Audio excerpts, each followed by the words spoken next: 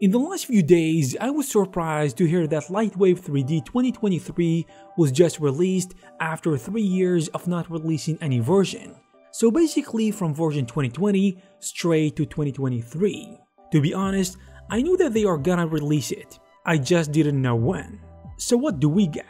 A major update from Lightwave Digital, which introduces several innovative features and tools, which helps make this 3D animation software a little better in different areas. This is actually good news and can potentially help it gain a little bit of its reputation, especially knowing that it was a huge and a very popular software in the industry back in the 90s and early 2000s. So, let's start with procedural geometry nodes. This new system allows the procedural generation and manipulation of geometry, like what you can find in different 3D software such as Blender or Houdini. So it integrates with a Lightwave instancing toolset and includes over 25 nodes for creating and manipulating polygonal geometry, splines, and volumetrics in OpenVDB format. The geometry created with these nodes is fully animated over time, which is something you can expect.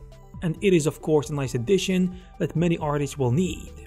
Also, one of the best news about this release is that Turbulence FD that was acquired by Lightwave Digital is now included in all 2023 licenses, which is great. This voxel-based gaseous fluid dynamics plugin is well suited for creating realistic fire, smoke, and other fluid effects, and it is GPU accelerated for efficient performance.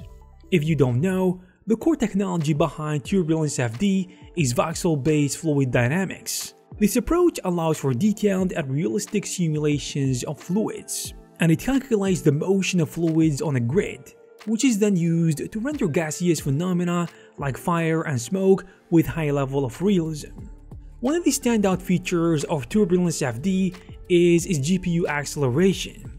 This makes the simulation process significantly faster compared to CPU-based calculations, especially important for complex scenes or high-resolution simulations, which is needed in most of the cases, especially when working on VFX projects. The GPU acceleration ensures that artists and animators can work more efficiently. The 2023 release also got instance painting, so a new instance or brush enables artists to paint instances over surfaces in a 3D scene offering a more controlled approach to distributing instances, such as rocks or vegetation in a scene. This can be really helpful to populate environments fast using Lightwave 3D, which I think is a nice addition. Also, a little nice thing they have with this update is the 3D text tools. So, in a nutshell, the 2023 version introduces the ability to create 3D text directly in layout, with features like text styling, beveling, and pre-character animation. We also have Lightwave Pro Tools, formerly known as OD Tools. This collection of workflow enhancement tools is now natively included, which is great. And these tools can span across all of Lightwave, including modeler and layout. And it can improve the asset transfer between applications, which is even better. In another update, there is the Chronosculpt, and this tool for sculpting and editing animated 3D meshes focuses on manipulating deformations and animations over time. So I think this can provide Lightwave artists with greater control over animations and simulations to make minor changes without having to start over. In addition, the update comes with some quality of life improvements. This means that the update includes numerous enhancements, especially in the node editor. These improvements streamline the node-based workflow, with options to duplicate, group, and color code nodes. Another thing that can be really important, especially for game developers, is the integration with Unreal Engine 5. So there is now a real-time bridge between Lightwave Layout and Unreal Engine 5, which is gonna be anticipated.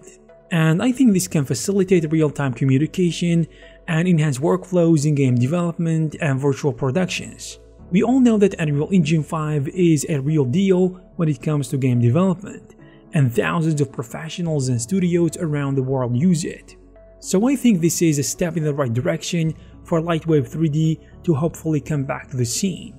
I hope you guys found this video useful and informative. If you did, please give it a thumbs up. Also please subscribe to this channel to receive new videos like this about 3D software and CG news in general. Thank you very much for watching and I will see you in the next one.